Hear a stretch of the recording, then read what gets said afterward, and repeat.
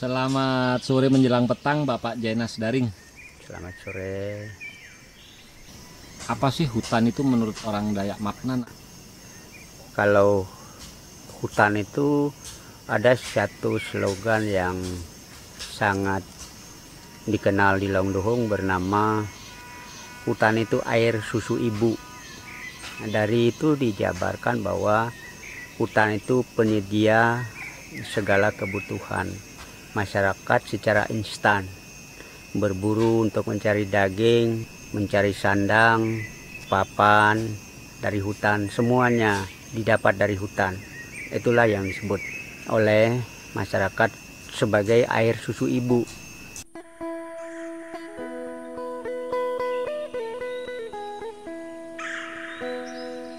Apa sih konsep hutan atau mempertahankan hutan itu bagi masyarakat Maknan khususnya dari kampung Longduhung ini sih Pak?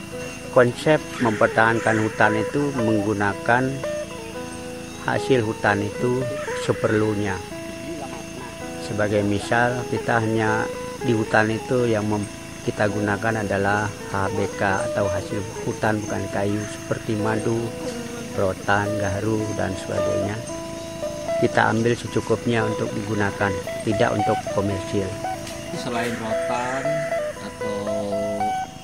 daging dari hewan buruan atau buah-buahan. Apalagi Pak yang bisa dimaksimalkan dari hasil hutan di sekitar kampung Longduhung ini?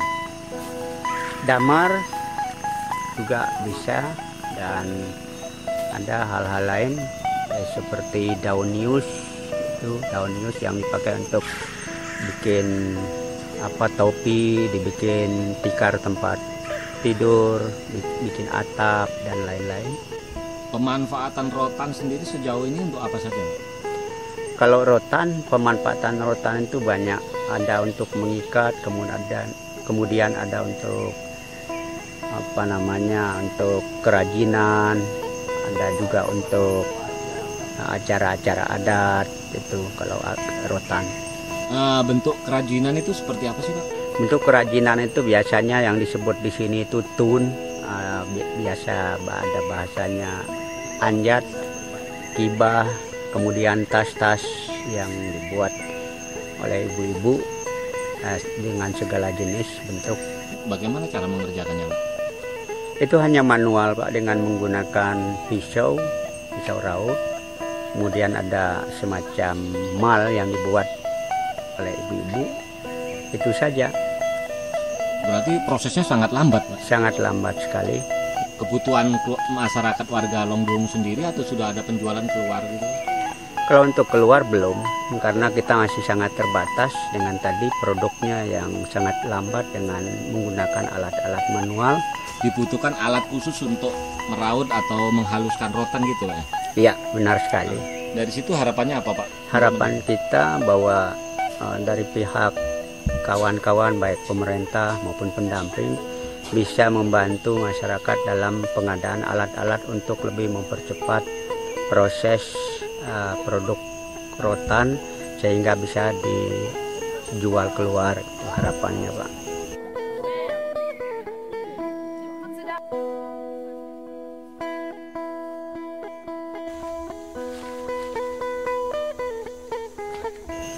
Kerajinan tangan ini secara ekonomi berarti nggak sih Pak? Sebenarnya secara ekonomis iya tapi karena kita belum menemukan pasar kemudian juga belum tertata produk-produk masyarakat belum lagi maksimal itu yang menyebabkan kita belum bisa menganggap itu sebagai pendapatan alternatif masyarakat.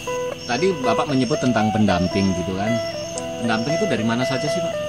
Pendamping itu bisa dari NGO, bisa dari pemerintah atau bisa juga dari pihak swasta kayak perusahaan HPH yang ada di daerah sini ada pendampingan juga. Artinya uh, pendampingan ini sudah banyak dan sering gitu kan? Ya sangat sering. Kemudian uh, ada nggak sih kesesuaian pendamping itu dengan dengan istilahnya dengan nurani dengan nurani masyarakat atau dengan akar budaya itu sendiri? Ya selama ini yang kita lihat itu walaupun teman-teman sudah mungkin merasa sudah maksimal pendampingan tapi hal yang kita lihat itu masih belum maksimal itu karena belum sesuai dengan budaya masyarakat. Sebagai contoh uh, budidaya ayam, budidaya karet itu sebetulnya tidak sesuai dengan budaya masyarakat yang hidupnya tanam kemudian membiarkan.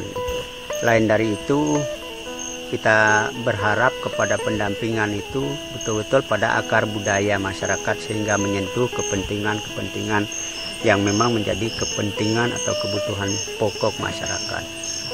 Kemudian yang kedua bahwa pendampingan itu e, di, harus dilakukan secara tuntas, jangan setengah-setengah dan karena kita pengen masyarakat itu dapat hasil daripada pendampingan yang dilakukan oleh teman-teman baik itu dari pihak NGO, swasta dan pemerintah.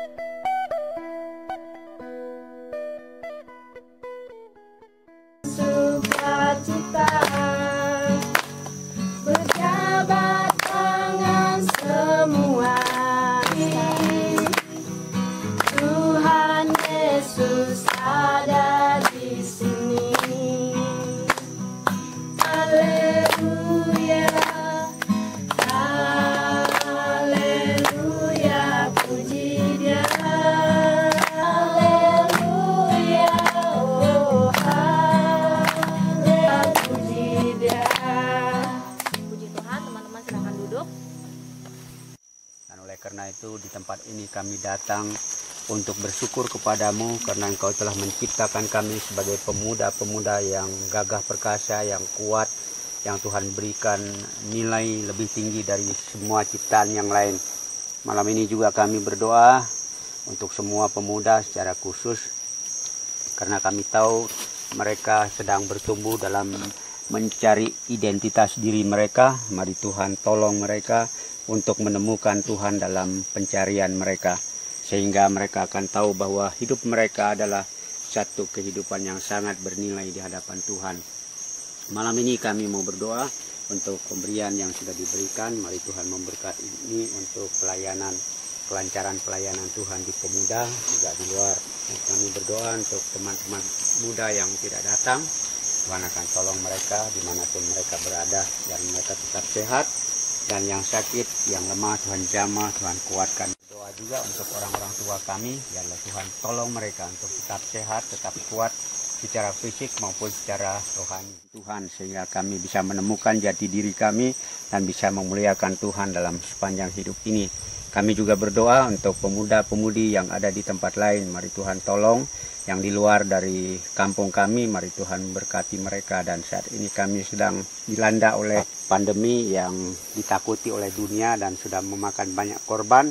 Tapi kami percaya dan yakin bahwa Tuhan melindungi kami sesuai dengan janji firman-Mu dari Mazmur 91 ayat yang ketujuh bahwa di sisi kami rebah seribu orang dan sepuluh ribu di sebelah kanan kami dan kami akan menjadi penontonnya sehingga semuanya memuliakan Tuhan. Dan saat ini kami berdoa bagi pemuda-pemuda yang punya permasalahan, mari Tuhan tolong mereka lepas dari masalah mereka.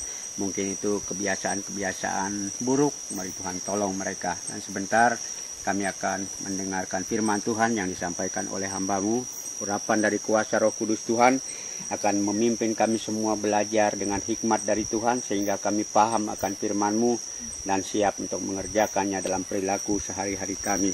Terima kasih Bapak di surga, terbatas permintaan doa yang kami sampaikan kepadamu pada malam hari ini. Kami sangat mengucap syukur untuk waktu ini di mana Engkau sadarkan kami bahwa kami hidup di alam ini yang Tuhan sudah berikan bagi kami untuk kami pelihara, untuk kami jalani sehikmat mungkin untuk memuliakan engkau dan membesarkan namamu.